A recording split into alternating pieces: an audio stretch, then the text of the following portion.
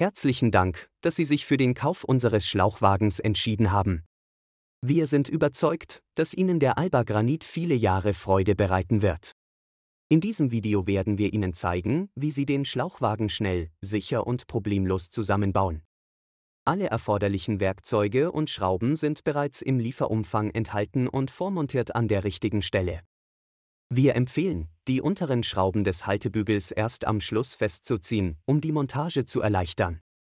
Folgen Sie einfach den Schritten in diesem Video und Sie werden den Schlauchwagen Granit in kürzester Zeit montiert haben. Schritt 1. Entfernen Sie die zwei oberen Schrauben auf beiden Seiten und legen Sie sie an einem sicheren Ort ab. Schritt 2. Legen Sie den Haltebügel zwischen die Konsolen, achten Sie auf die Ausrichtung und schrauben Sie die vier Schrauben wieder an. Schritt 3. Ziehen Sie anschließend alle acht Schrauben fest, aber achten Sie darauf, dass Sie sie nicht zu fest anziehen, da dies die Stahlbleche beschädigen kann. Schritt 4. Entfernen Sie die Schraube von der Kurbel, richten Sie die Gewindebohrung der Kurbel mit der Bohrung an der Achse aus und ziehen Sie die Schraube fest. Das war's schon. Mit diesen einfachen Schritten haben Sie den Alba Granit erfolgreich montiert. Noch ein Tipp, befestigen Sie Ihren Schlauch mit dem beiliegenden Kabelbinder zur Zugentlastung und um ein Knicken zu vermeiden.